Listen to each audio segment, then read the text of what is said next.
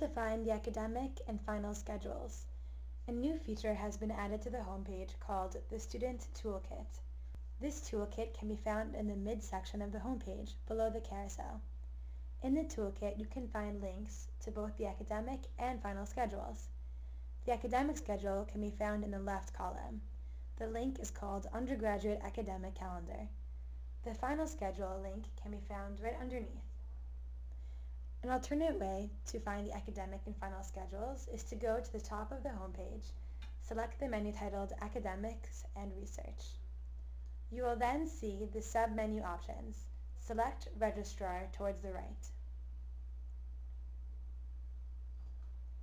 Once on the Registrar page, there will be a menu on the right.